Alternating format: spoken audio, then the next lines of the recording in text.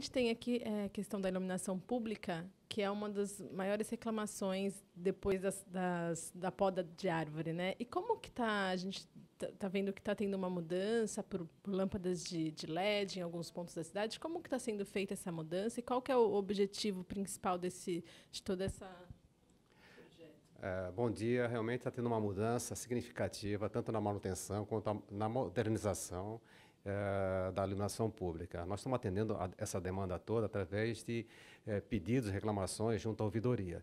Mas estamos promovendo, através de uma programação já estabelecida, toda a modernização da cidade, passando lâmpadas de 100 para 150, de 150 para 250. Quer dizer, há, vai haver, de fato, um aumento significativo no, na luminosidade da cidade.